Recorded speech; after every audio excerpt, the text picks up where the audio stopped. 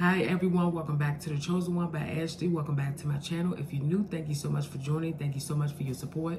Today word of encouragement is God said you won't be out your house. I will help you pay your rent. Some of you right now are getting ready to be evicted, and I want you to know that God is getting ready to help you to make that payment. All you have to do is say, Lord, I trust in you, and He will make a way for you.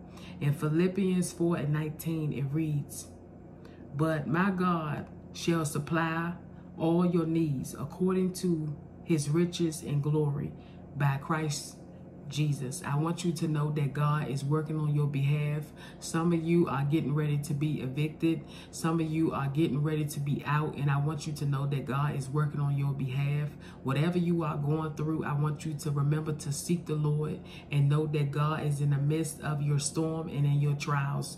I want you to know that God is in that court case. I want you to know that God is helping you to make a way out of no way. Sometimes we beat ourselves up and we like, Lord, I just don't know what else to do. God said, completely trust in me. He said, put your trust in me. Sometimes we have to stop trusting in man. We have to stop trusting in other people. And we just have to believe and trust in God.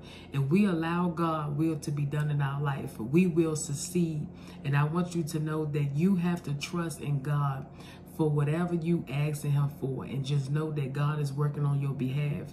You have to know that God understand you and he know what you need. Stop rushing Take your time and say, Lord, I'm ready for what you have for me. I trust in you completely. We have to trust in God. And some of us right now, we need to have patience. Have patience with the Lord because God knew that this was going to happen. He knew that you was going to be put out. He knew that you didn't have enough money. He knew what was going on in your circumstances. And I want you to know sometimes God got to put you out of places and put you in better circumstances. And I want you to know that God will work everything out for you. I just want to say be encouraged, keep the faith, and know that God gonna change your story. So whatever you going through right now, I want you to know that God is allowing you to come out of that on top. You gonna be a winner. You gonna be just fine.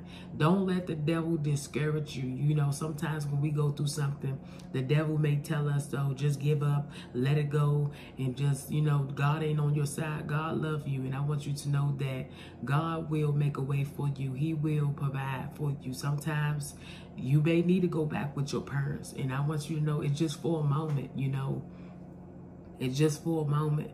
Sometimes you may have to go back and live with a loved one. You may have to go back and live with somebody until you're capable, until you're available to live on your own.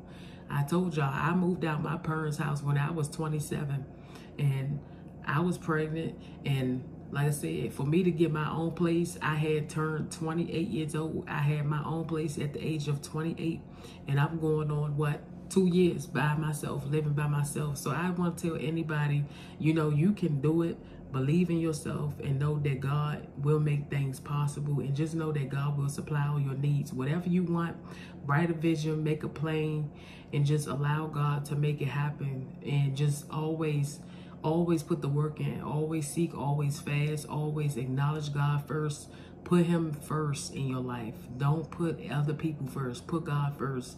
If you want God help, you got to trust in him and you got to know that God will make it.